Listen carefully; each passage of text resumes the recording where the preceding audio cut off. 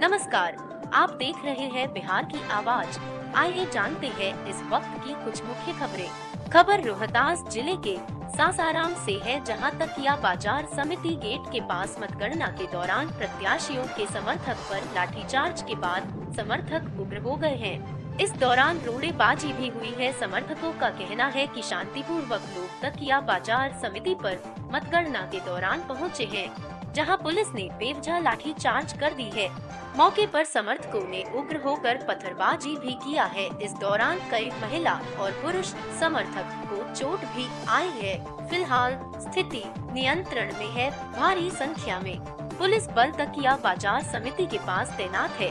वही समर्थकों में आक्रोश है। गौरतलब हो कि दूसरे चरण के मतगणना कार्य तकिया बाज़ार समिति सासाराम में आज जारी है। जिसमें रोहतास जिला के नक्सल प्रभावित पहाड़ी इलाका नहट्टा तथा रोहतास प्रखंड का मतगणना चल रहा है। रोहतास से जिला रिपोर्टर धर्मेंद्र कुमार सिंह की रिपोर्ट। गुंडागर्दी कर रहे हैं हम लोग शांति पूर्वक देख रहे हैं। लोग जो भी दर्शक लोग हैं समर्थक लोग हैं उसको लाठी से मार रहे हैं कपार मार के फाड़ दिया। अभी हमको भी मारा है हाथ में देख लीजिए। औरत भी गिर जा रही है। यहाँ तक लेडीज़ की गिरा दे रही है। यहाँ पुलिस प्रशासन के कोई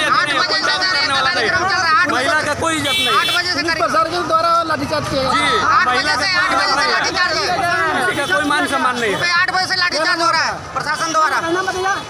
क्या नाम हुआ? मेरा नाम मुस्तकीम हुआ। कहाँ से नौहट्टा चुटिया से सर।